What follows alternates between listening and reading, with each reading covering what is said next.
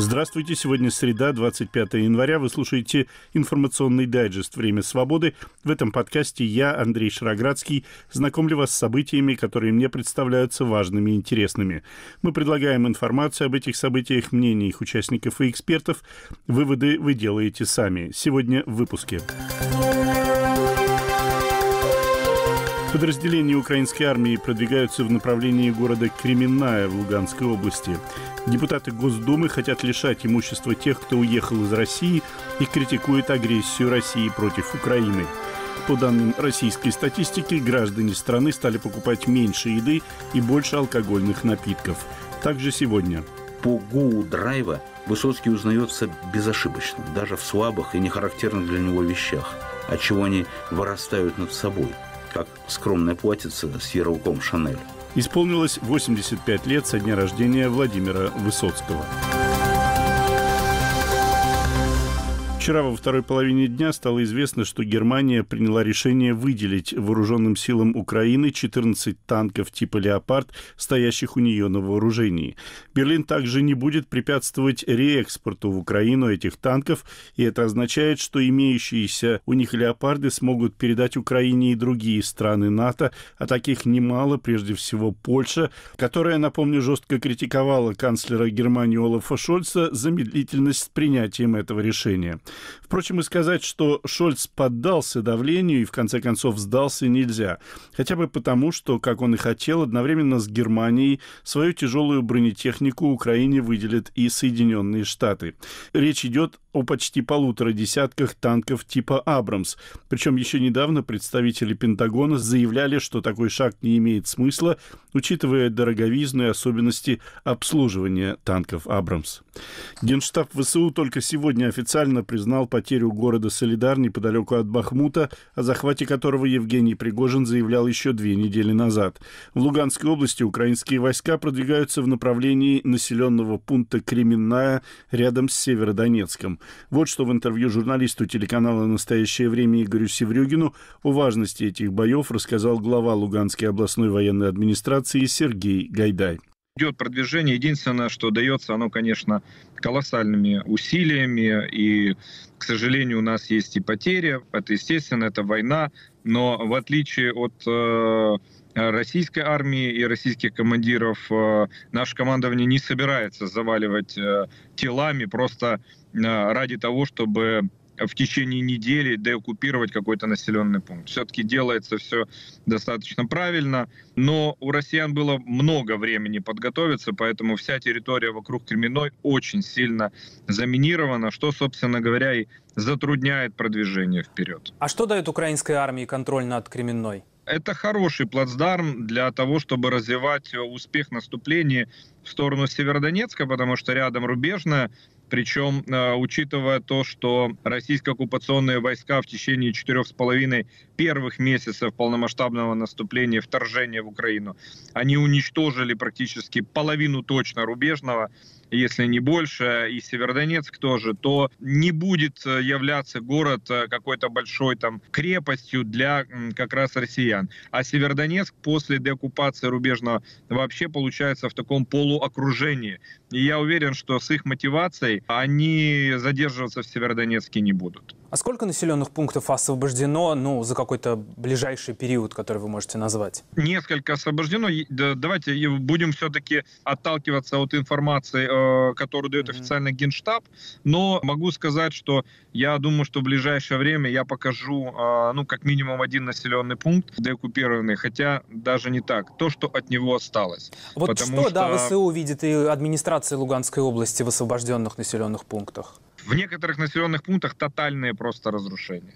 Ну вот смотрите, если у нас в Невском где-то, ну так, 50 на 50, половина э, домов развалена обстрелами, э, половина целая, и там на сегодняшний день проживает 144 человека, и до сих пор еще это село обстреливается. Мы обеспечиваем их достаточно нормальными гуманитарными наборами, связью, генераторами, э, ремонтными наборами, но все равно еще россияне обстреливают. У нас, к сожалению, за последние две недели четверо раненых и двое погибших. А если брать следующее село, Макеевка, вообще все дома разрушены полностью. Я вместе с нашими ребятами, ну, образно говоря, летал на квадрокоптере, ну, то бишь они поднимали в воздух коптер, и мы смотрели, на что сейчас похоже Новоселовская. Ребята просто бойцы рассказывали, что россияне каждый дом на каждой улице от начала до конца просто расстреливали дом за домом. Там не осталось ни одного целого дома вообще. А можете ли вы подтвердить информацию, что из оккупированного Луганска якобы началась эвакуация то ли родственников российских военных, то ли самих военных? не сами военные, а они отправляют родственников.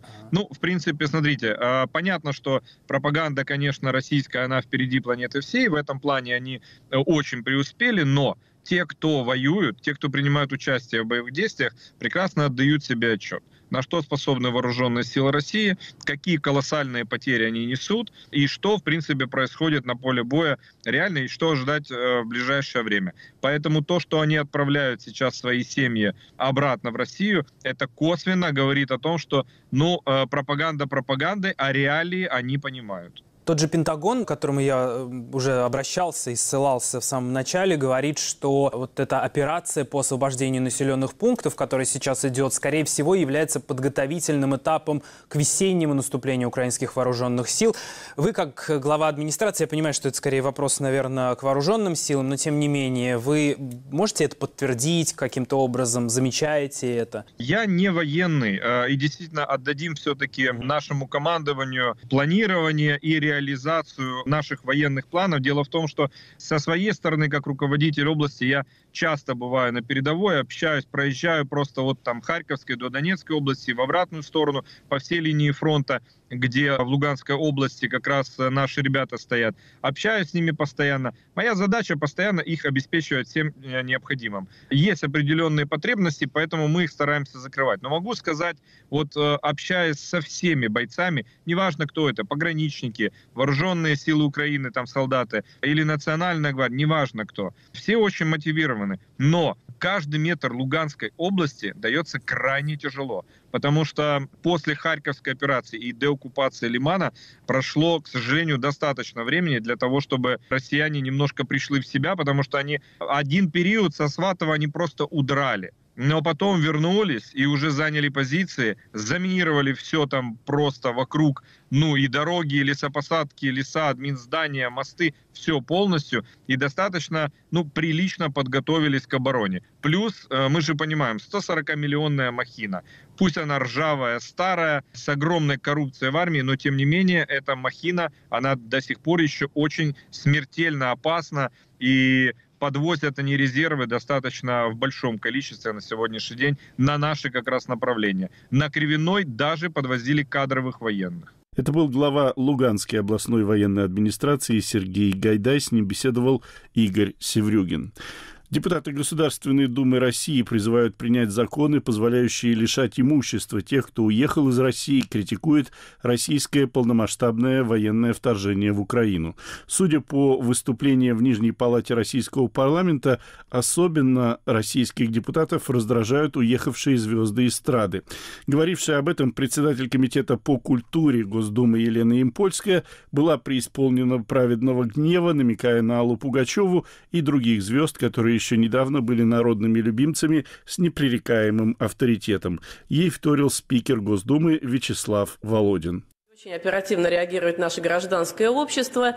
И пример этих мальчиков и бабушек для битья, их отмененных концертов, их антрепризного чеса очень показателен и назидателен.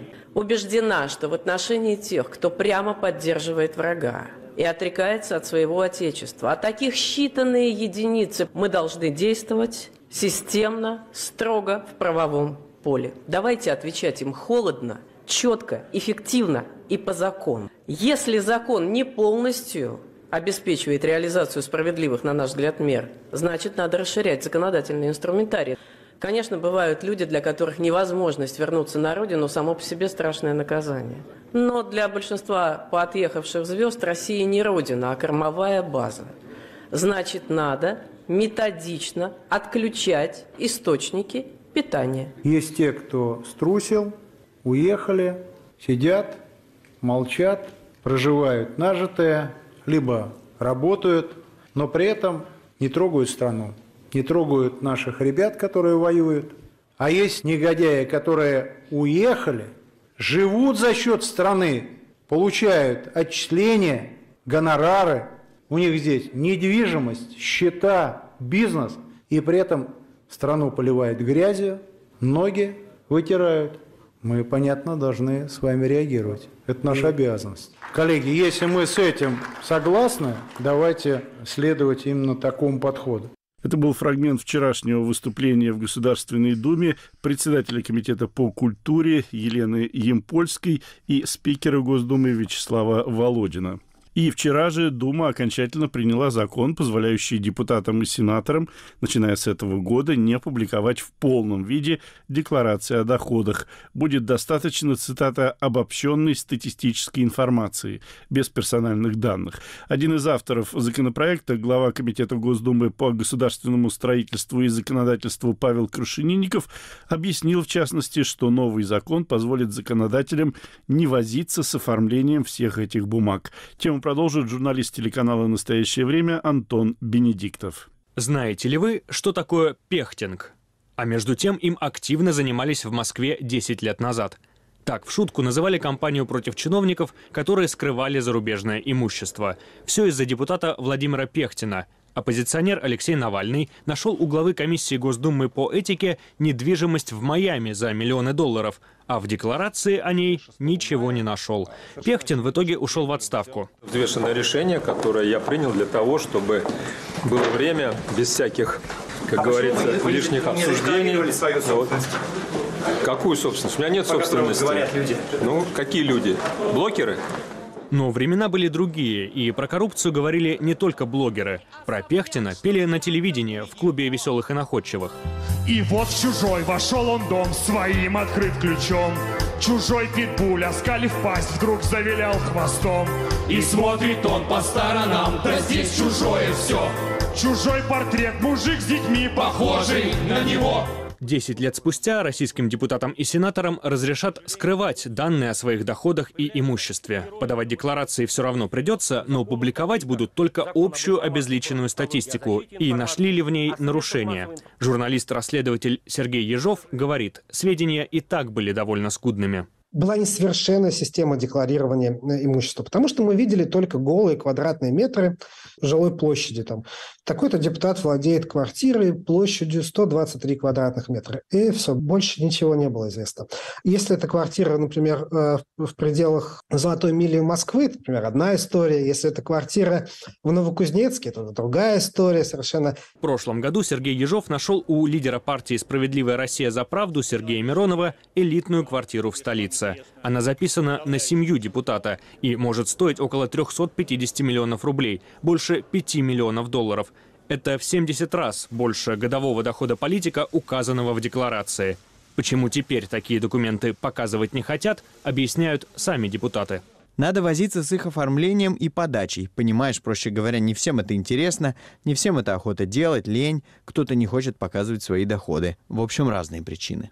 Последние декларации Павла Крашенинникова – 6 миллионов рублей доходов, машина Lexus, два дома, две квартиры и участок. Но все это меркнет по сравнению с самым богатым членом парламента. Валерий Пономарев, который представляет в Совете Федерации Камчатку, отчитался о доходе в 4,2 миллиарда рублей. Это почти 61 миллион долларов. Российский сенатор от аннексированного Крыма Сергей Цеков говорит, что не понимает, зачем об этом отчитываться. Когда все выбрасывают в открытый доступ, то начинают смаковать, ерничать, мол, откуда деньги, то все. Это вызывает нездоровый интерес у различных личностей. Самое главное, чтобы правоохранительные органы имели доступ к декларации. В конце прошлого года президент России подписал указ. Участники войны с Украиной могут не представлять данные о своих доходах. До этого из Росреестра пропала информация о недвижимости одного из командующих вторжением, генерала Сергея Суровикина. Журналисты-расследователи опасаются, что вслед за депутатами и сенаторами общественного контроля за доходами смогут избежать все российские чиновники. И коммерческий реестр засекречивается, и, соответственно, декларация засекречивается, все на свете засекречивается. Коммерческий реестр тоже с пугающей скоростью засекречивается, вымарываются оттуда сведения о владении там, тех или иных лиц, даже не должностных лиц. Я думаю, что все должностные там тоже будут вымораны. И получается так, что страдают от этого не только журналисты-расследователи, э, но и все граждане, все избиратели и налогоплательщики. По данным Transparency International, средние доходы чиновников в России в три раза превышают средние доходы других граждан. А русская служба BBC посчитала, среднестатистический депутат Госдумы в 2021 зарабатывал в 110 раз больше, чем среднестатистический россиянин. Сообщение журналиста телеканала «Настоящее время» Антона Бенедиктова. Вы слушаете информационный дайджест «Время свободы». Сегодня среда, 25 января. Тему выпуска представляю я, Андрей Шароградский. По данным Росстата, в прошедшем году россияне стали меньше тратить на продукты питания, но больше на алкогольные напитки. Свои соображения по этому поводу высказывает экономический обозреватель «Радио Свобода» Максим Блант.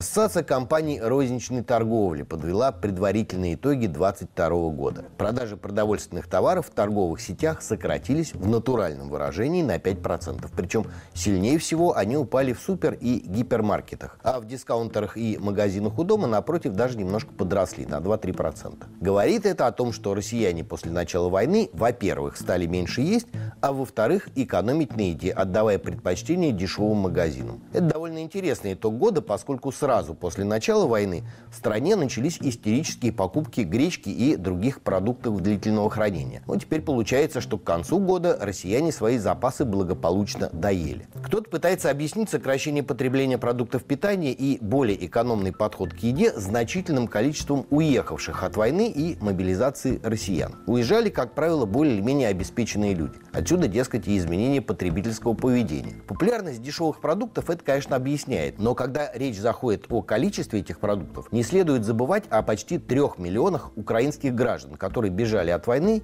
и волей судьбы оказались в России. То есть количество едоков не уменьшилось. Люди действительно стали меньше есть. К слову, экономят россияне не только на еде. В непродовольственном сегменте физический оборот, то есть количество проданных товаров, упало на 10 с лишним процентов. Но есть кое-что, на чем россияне после начала войны не экономили. По данным Росалкоголя регулирования, продажи водки, опять же в декалитрах, а не в рублях, в 2022 году выросли почти на 6%. Коньяка магазины продали на 5 с лишним процентов больше. Слабоалкогольных напитков продано почти в полтора раза больше. Но абсолютный рекорд поставили крепленные вина. Россияне за год выпили их в два с половиной раза больше, чем в довоенном 2021 году. Чиновники пытаются объяснить этот феномен обелением рынка. Россияне, дескать, проявили в прошлом году сознательность и отказались от самогона, паленой водки и прочего винного контрафакта. И теперь культурно и патриотично употребляют исключительно крымские вина и коньяки, ну, в крайнем случае, высококачественную водку легальных производителей. Но мне от чего-то это объяснение не кажется убедительным. Думаю, с началом войны россияне просто стали больше пить и меньше закусывать. Реплика экономического обозревателя «Свободы» Максима Бланта. Сегодня исполнилось 85 лет со дня рождения Владимира Высоцкого. Писатель Петр Вайль в свою знаменитую антологию стихов русских поэтов XX века «Стихи про меня» включил стихотворение Высоцкого, которое называется «Старый дом». Помните, кто ответит мне, что за дом такой, почему во тьме, как барак чумной, свет лампад погас, воздух вылился, а лежить у нас разучились. Феномен Владимира Высоцкого, считает Петр Вайль, во многом связан с особенностью, которая определяется английским словом «драйв». Вот фрагмент из главы книги «Стихи про меня», посвященный Владимиру Высоцкому. Она называется «Письменное народное творчество». Как перевести на русский? Напор, надрыв, сырая эмоция. Но здесь нет присутствующего в английском слове вектора движения, идеи гона, преследования, удара, атаки. У Высоцкого драйв повсюду. Словно в органном звучании он покрывает все написанное и спетое им, отчасти выравнивая по качеству. По гуу драйва Высоцкий узнается безошибочно, даже в слабых и нехарактерных для него вещах, отчего они вырастают над собой, как скромная платьице с ярлыком «Шанель». Он мог петь сначала «Я не люблю, когда стреляют в спину, но если надо, выстрель в упор», а потом Я также против выстрелов в упор. Иногда и мне не жаль распятого Христа, а иногда вот только жаль распятого Христа. Под напором чувств почти неважно. Так современные российские теледикторы называют Кубу островом свободы. Словесный ритуал важнее идеологии и самой сути. Не смущают даже такие фразы, как «очередное преследование инакомыслящих на острове свободы». В 70-е достаточно было произнести, да еще громко и с надрывом, «распятый Христос». Остальное несущественно. Драйв – дело не русское, как сам термин. К нему не приспособлен наш язык, с его многосложными словами и путаницей сложно подчиненных предложений. Быть может, нет на свете языка более подходящего для передачи душевных хитросплетений, чем русский. Но завоевал мир английский, благодаря краткости, логике и энергии.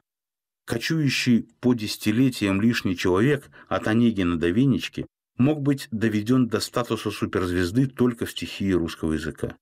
Маяковскому пришлось строить из стихов лесенку, чтобы обратить внимание на разрыв с традицией. Цветаева изломала строки анжамбиманами, понаставила между всеми словами тире, так что ее стихи узнаются издали по графике. Они двое по страстному драйву, предтечи Высоцкого в XX веке. Других образцов что-то не видать. Разве что в устном народном творчестве, да еще там, в детском возрасте до пушкинской словесности, в первоначальной поэтической пылкости, с которой писали Тредьяковский, библейские переложения, и Державин на смерть князя Мещерского и другое. В простодушной страсти, принципиально отринутой легкой гладкописью Пушкина, а вслед за ним почти всеми русскими поэтами. Высоцкий в таких его вещах, как ошеломляющая по накалу охота на волков, возвращает к нерафинированности, которая всегда отождествлялась с некультурностью. Эмоция без иронии – вечная новизна. Неодолимо привлекателен гибельный восторг, пропадаю, главное слово Высоцкого, с его суицидальным алкоголизмом, дополненным наркоманией, с несомненной тягой к самоистреблению. Год, в который написан «Старый дом», и Высоцкому исполнилось 36, едва не стал для него последним. 74-й – печальный для русской словесности год. Умер 45-летний Шукшин, повесился 37-летний Шпаликов, вызвали Солженицына, уехал Галич, выгнали из Союза писателей Войновича и Чуковскую, для Высоцкого год один из самых насыщенных. Театр на Таганке отметил десятилетие. Шоу «Расцвет застоя», и Таганка была одним из немногих оазисов, а Высоцкий в этих кущах играл свои лучшие роли – Галилея и Гамлета. На Шекспире за каждый спектакль теряя по 2 килограмма. Драйв. Снимался в кино, правда, незначительно. Во второй раз съездил с Мариной Лади во Францию, гастролировал в Литве, Латвии, Ленинграде, на Волге, много писал, только для фильма «Иван да Мария» 14 песен. Народные стилизации с фокусами. «Кали», «Руби», «To be or not to be». Для фильма «Одиножды один» восемь песен, где встречается смешение мотивов из «Я был батальонный разведчик» из «Старого дома». Там сидел за столом, да на месте моем неприветливый новый хозяин, и фуфайка на нем, и хозяйка при нем, потому я и псами облаян. Это значит, пока под огнем я спешил, ни минуты не весел, он все вещи в дому переставил моем и по-своему все перевесил. В 74-м среди четырех десятков песен одна из его лучших «На смерть Шукшина», где, если и есть чуть печали о себе, смерть тех из нас всех прежде ловит, кто понарошку умирал, то все в целом истинная благородная скорбь по ушедшему, без позы и горестного самолюбования. Мы выли друга, отпуская в загул без времени и края. На похороны Шукшина Высоцкий вырвался с ленинградских гастролей и, возвращаясь из Москвы на машине, попал в аварию, чуть не пополнив собой мартировок 74-го. Высоцкому суждено было прожить еще шесть лет, а лирический герой Старого дома пропадает безнадежнее многих других его персонажей. Песня вторая и последняя, часть короткого цикла «Очи черные». Первая – «Погоня». Ездок, отбившись в лесу от волков, добирается до дома, такого, какой есть, какой описан, стоило ли отбиваться. Хотя запросы у него невелики и вроде достижимы. Оказаться там, где поют, они стонут, где пол не покат, и всего-то. Но, спасшись от волчьей погони, он попадает в вязкую человеческую западню. Рушится традиционный образ домашнего очага, как средоточие порядка и покоя. Дом из песни отчаянно чужой по всем признакам и ощущениям, хотя ясно, что родной и в широком родина, и в узком буквальном домашний очаг смысле. Видать, был ты долго в пути и людей позабыл. Старый дом – апофеоз одиночества именно потому, что напряженно и напрасно ищется соборность, обернувшаяся бросовым сборищем. Фольклорность Высоцкого, та самая, которая мешает внятно и окончательно определить его место как выдающегося явления культуры, большого русского поэта, здесь проявляется не столько в цыганщине черных очей, сколько в зловещей сказочности дома на проезжем тракте, где по законам жанра обитает знакомая и близкая, но оттого не менее нечистая сила. Ужас в том, что она тут не таится по углам, а выступает ответственным квартиросъемщиком. Диалог, который ведется в песне, классическая балладная беседа, жутковат. Говорят люди одного сознания языка, легко и сразу понимающие друг друга. По сути, человек разговаривает сам с собой. Раздвоенный персонаж. Один не разучился изумляться и возмущаться, а другой устал. Как если бы автор провел в Париже не полтора месяца, а полтора десятка лет, вернулся и ахнул. Высоцкий внутренний проводит экскурсию для Высоцкого внешнего. И куда это он внешне поскакал в предпоследнем куплете? Достоевский финальную реплику Чацкого «Бегу, не оглянусь, пойду искать по свету» трактовал полицейским образом «За границу хочет бежать». Может, и за границу. Приговор Высоцкого родному дому страшен и безысходен, потому что под ним любовь и знание. До появления героя там происходило то, что подробно и доступно описано в смотринах, спетых годом раньше Старого дома потом пошли плясать в избе, потом дрались не по злобе, и все хорошее в себе доистребили. Каждое слово незыблемо на месте. Каждый слог, особенно приставка в последнем глаголе, добили таки. Та вековая народная забава, о которой заезжему говорит местный. Мы всегда так живем. Писатель Петр Вайль о феномене Владимира Высоцкого. Это фрагмент книги Петра Вайля «Стихи про меня». Сегодня исполнилось 85 лет со дня рождения Владимира Высоцкого. Вы слушали информационный дайджест «Время свободы». Его темы представил я, Андрей Шароградский, продюсер выпуска Андрей Амочкин. Наш подкаст можно слушать на сайте «Радио Свобода». К вашим услугам популярные приложения подкастов и наша платформа на базе хостинга YouTube «Радио Свобода Лайв». Подписывайтесь на нее и на телеграм-канал «Время свободы». Ну, а у меня на сегодня все. До свидания.